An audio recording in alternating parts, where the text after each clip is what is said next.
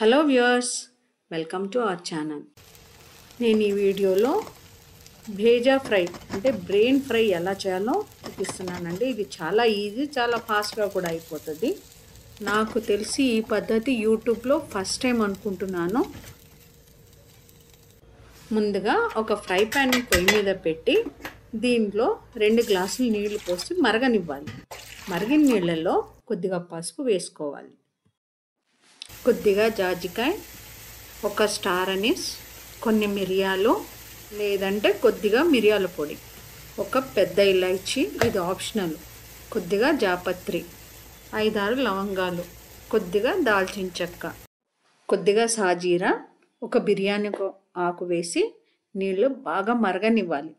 మరిగే నీళ్ళల్లో కడిగి పెట్టుకున్న బ్రెయిన్. ఇవి రెండు బ్రెయిన్స్.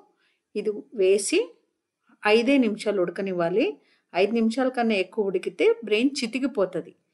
ఇందులోనే కొద్దిగా ఉప్పు కూడా వేసి ఉడకనివ్వాలి. ఇలా మసాలా నీళ్ళు ఉప్పుతో కలిపి బ్రెయిన్ ఉడికి చాలా రుచిగా ఉంటుంది.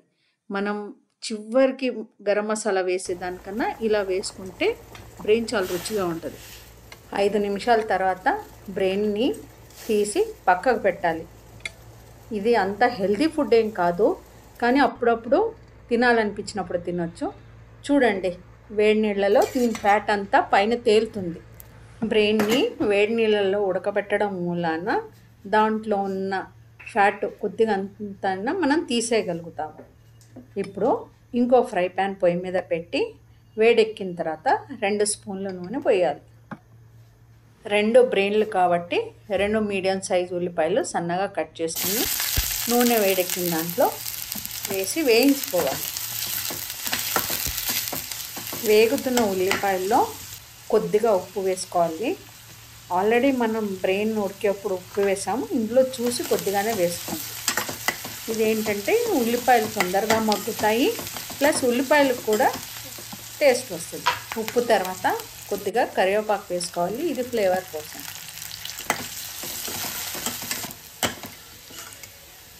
ఉల్లిపాయలో ఇలా రంగు మారిన తర్వాత ఒక స్పూన్ అల్లం వెల్లుల్లిపాయ పేస్ట్ వేసి పచ్చి వాసన పోయేంత వరకు వేయించుకోవాలి. అల్లం వెల్లుల్లిపాయ వేగిన తర్వాత ఒక స్పూన్ కారం లేదా మీ టేస్ట్తో తగ్గట్టు కొద్దిగా పసుపు కూడా వేసి దీన్ని కూడా రెండు నిమిషాలు వేయించుకోవాలి.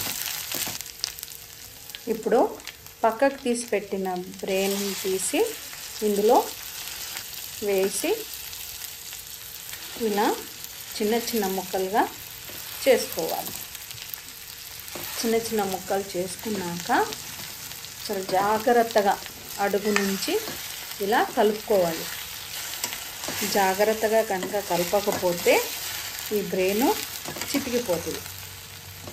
ధనియాలు జీలకర్ర వెల్లుల్లిపాయ కలిపి చేసుకున్న పొడి ఇది వేసేసేసి మూత పెట్టి రెండు నిమిషాలు వదిలేసేయాలి. రెండు నిమిషాల తర్వాత చూస్తే బ్రెయిన్ అంతా ఉడికిపోయి ఉంటుంది. మీకు ఏమాత్రం డౌట్ అనిపిస్తే కనుక దాన్ని ఇంకో సైడ్కి వేసి మళ్ళీ మూత పెట్టండి. రెండు నిమిషాల తర్వాత స్టవ్ ఆర్పేసేసి పైనుంచి ఇలాచి పొడి చల్లుకొని డిష్ అవుట్ చేసుకోవాలి. ఒకవేళ మీకు కావాలంటే ఇలాచీ పొడితో పాటు మిరియాల పొడి కూడా పైన చల్లుకోవచ్చు. సర్వ్ చేసే ముందు పైన సన్నగా కట్ చేసుకున్న కొత్తిమీర కొద్దిగా నిమ్మకాయ రసం వేసి సర్వ్ చేయాలి. ఇది చాలా రుచిగా ఉంటుందండి. ఇది కనుక మీకు నచ్చితే లైక్ చేయండి షేర్ చేయండి కామెంట్ చేయండి. మొదటిసారి కనుక మన ఛానల్ని చూస్తుంటే ఛానల్ని సబ్స్క్రైబ్ చేసుకోండి. Thank you thank you once again for watching my channel.